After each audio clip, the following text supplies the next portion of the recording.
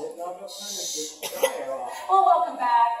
It's called the Dog Cafe. It's a place where you can go and you can enjoy a coffee and maybe find a forever friend. And speaking of forever friends, I'm joined by Hank and his owner, Lindsay Powell, and I'm also joined by Carolyn Snowden. And they're here to talk to us about the cafe, but also first to talk about Hank and his remarkable recovery. So let's start there. Hank was shot at with a pistol. Talk to me about that. He was shot during a domestic uh, domestic dispute, and then he was rescued and found his way to the dog cafe as one of the adoptable dogs.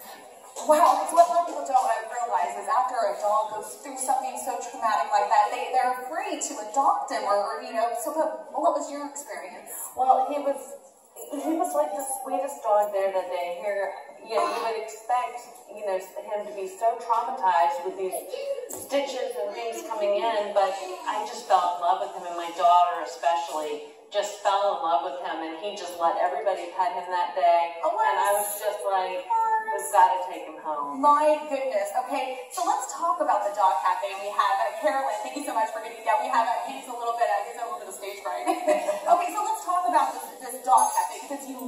to uh, Jacksonville, right? Correct. Have you ever seen something online or on TV and you were just moved to action? That's exactly what happened. I saw a Facebook video about a dog cafe in Los Angeles and I thought, genius, we need one in every city.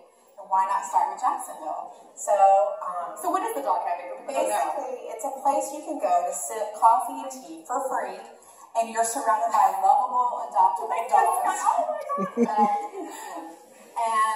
have assembled a magical team of four rescues and a team of volunteers that all unite in a grooming shop in Avondale, and we transform it into a cafe for two days on certain event weekends. So you have options. You can either go if you're looking for a dog to adopt. You can go. You can spend time and drink coffee, right? It's a win-win. The dogs will be loved on, they're better socialized, and if you can't have a dog but you love a dog, this is where you go. If you want a dog to add to your family, this is where you go. That's amazing. So you can go drink some coffee, get some puppy love, or you can take one home if you choose. So really quickly, let's talk about where the cafe is located. We are in basically the heart of Avondale in a grooming shop, Jeanette Brunick's grooming shop on St. John's Avenue near Bagel Love and across from the Eclipse. Very nice. Okay. And so does it cost anything to go again? It is totally free. You come for free, you drink for free, your tea or your coffee. We just ask for donations. Wonderful. Hey, thank you so much for being here. Again, that's Jack's Dog Cafe, located, you have the address right there. Your screen is located in Avondale. Thank you so much for being here. We have so much coming up after the break.